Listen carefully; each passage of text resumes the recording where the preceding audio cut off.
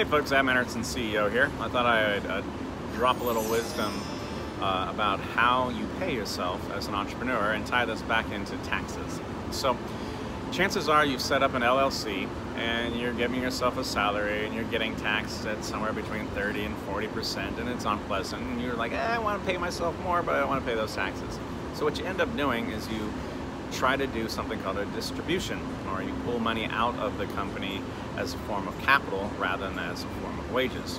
In order to do this, you make your LLC file as an S corporation that then allows you to pay yourself in this fashion. And of course, you need to talk to your CPA, to get all that set up correctly.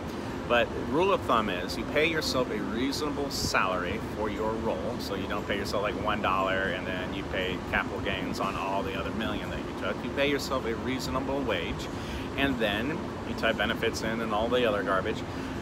And then, when you want to pull actually real money out, you do it in the way of a distribution, a dividend from your position as a stockholder, not as an employee. That means you're doing capital gains, which means you're actually getting less taxes on that money than if you took it in a paycheck. So, ask your CPA to set you up as an LLC filing as an S corp so you can take distributions and pay capital gains on your money rather than uh, income tax. Right on.